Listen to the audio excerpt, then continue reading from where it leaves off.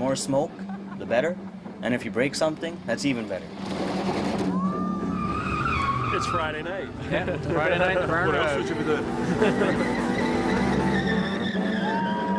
There's this idea of danger, but you're still in control of your car. You would never, you know, really want to let it crash. It's the same with art. You crash the mirror, but you want to create something while you're destroying something. The artist and, and the driver is not the same, but uh, maybe it can be a place for your creativity, and then you can feel as an artist, it's no problem. I might use ink or oil, and these people who are making these marks are using rubber. I think burning rubber is like having an orgasm.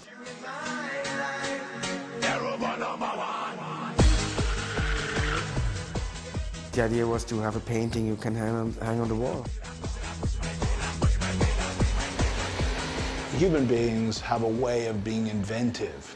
We have ways of using what is available. It's actually called uh, new music in uh, or P-N-E-U, a pun on the French word for tire. Our car is a tool, but it's designed for transportation. These are tools that are designed just to burn rubber. we could have it so that one of us is here and one of us is here, but we're off center, then you got safety. And you got guys that can physically intertwine.